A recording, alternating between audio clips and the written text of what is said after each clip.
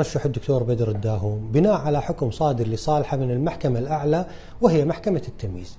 إلا أن بعد فوزه في الانتخابات قررت المحكمة الدستورية بطلان ترشحه بالمخالفة لحكم التمييز.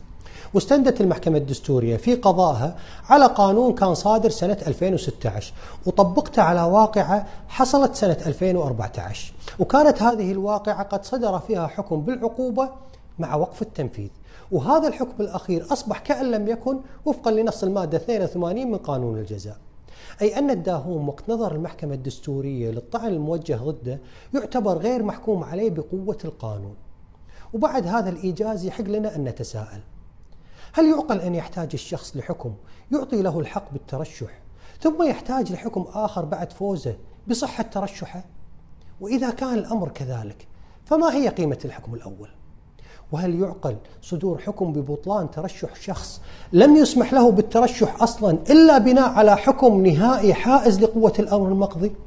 فإذا لم يكن ذلك إهدار لقوة الأمر المقضي، فكيف يكون الإهدار؟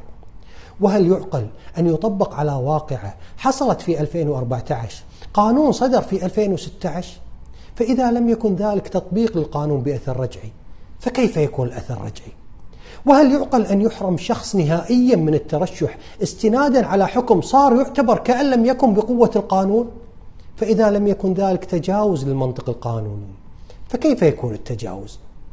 ولأن الأمر لم ينتهي بعد ولا يجب أن ينتهي خاصة أنه معروض مرة أخرى على محكمة التمييز المنتظر منها الإجابة على تلك الأسئلة وأولها ما هي قيمة حكمها الصادر بصحة الترشح؟ أخيرا وعلى الهامش عندما يصبح كل ما لا يعقل واقع نعيشه ونتجرع مرارته على مختلف الأصعدة.